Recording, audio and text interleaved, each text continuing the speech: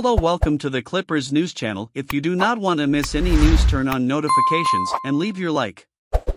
This season, Russell Westbrook has taken on the sacrifice of coming off the bench for the LA Clippers. He willingly accepted a lesser role in the name of team chemistry and helping everyone around him succeed. The results are clear for all to see.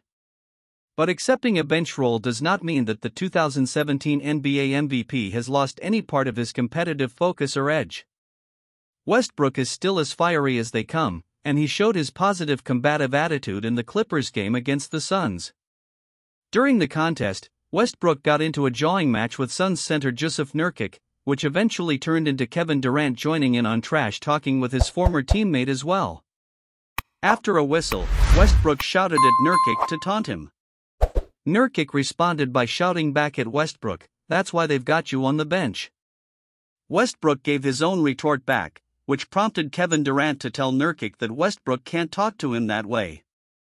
From there, the conversation mostly continued between just Westbrook and Durant, with Kevin telling his former point guard, You're not like that, Slim, and Westbrook firing back once again.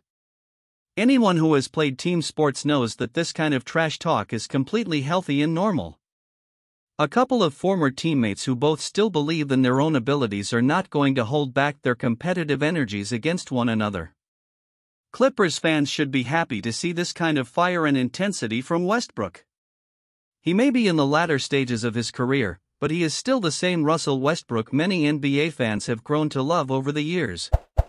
We will bring more news and updates here for you. Like and activate notifications and be the first to receive all our content.